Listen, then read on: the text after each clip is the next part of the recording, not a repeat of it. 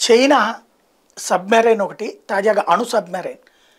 ఆ, దెబ్బతింటం దాంట్లో ఉన్నటువంటి సైన్యం చనిపోయినటువంటి ఘటనలో ఏం బయటపడింది? సముద్ర పడుగున లంగర్లేసి పడేస్తున్నారు. అంటే పెద్ద ఏదో మనిషిని బంధించినట్టు అత్యంత బలమైనటువంటి మోకులతో బలమైనటువంటి ఈ చైన్స్ని కడుతున్నారు. దాంట్లో ఇరుక్కుపోతున్నాయి ఎవరినో ఇరికిద్దాం అనుకుంటే వాళ్ళే ఇరుక్కుపోయారు. అంటే సముద్రం అడుగున కూడా యుద్ధ వ్యూహాలు ఉంటాయి. ఇప్పుడు రష్యా విషయంలో అదే భయపడుతున్నాయి అమెరికా యూరప్ దేశాలు.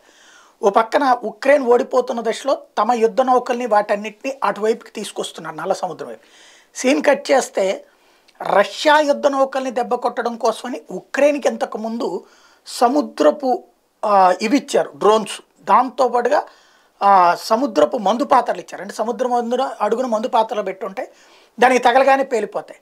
అట్లాంటివి ఇప్పుడు రష్యా తమ మీద ప్రయోగిస్తోంది అన్నటువంటి విషయం బయటపడింది. మొన్న అక్కడ పోర్ట్లో జరిగింది అదే అన్నటువంటి విషయం బయటపడింది.